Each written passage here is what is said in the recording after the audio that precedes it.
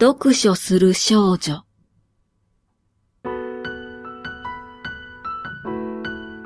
美しい横顔。緩やかな姿勢。風にそよぐ長い髪。額から鼻先へと続く知的なライン。優しい眉と真摯な眼差し。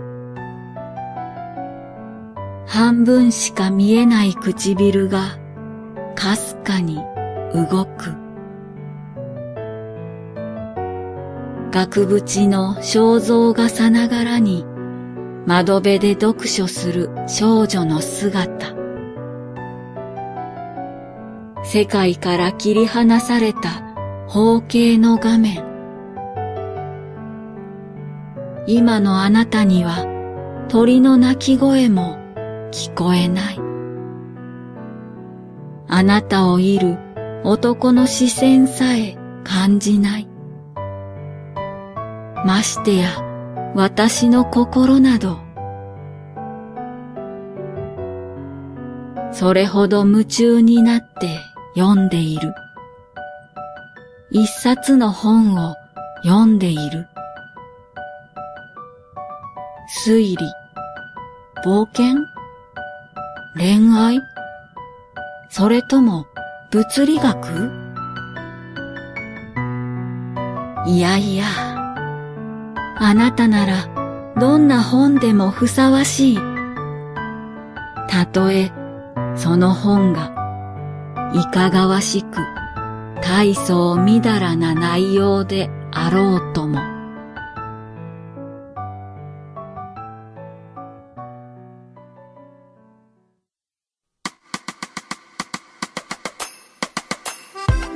いらっしゃいませ。サトル文庫へようこそ。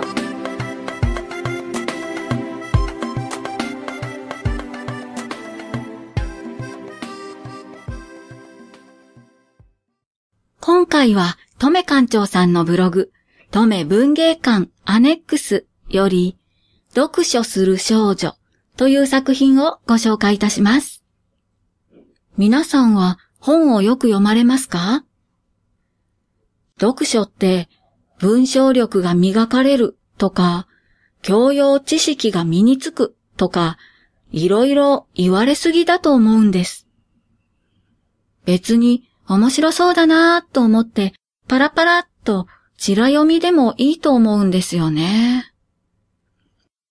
なんか小さい頃から決められたこの本を読んで感想文を原稿用紙に何枚書いてきなさいとか、ほらほら難しいぞ、ほら頑張らないと、って脅かされすぎじゃないかな。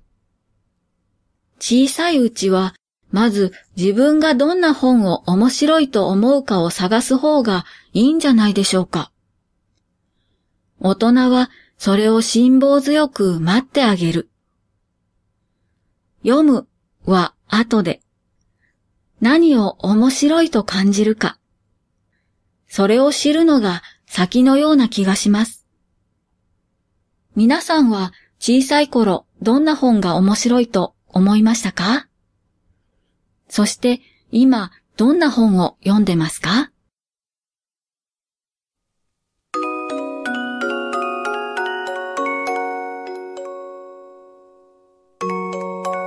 今回もお聞きくださってありがとうございます。またお越しください。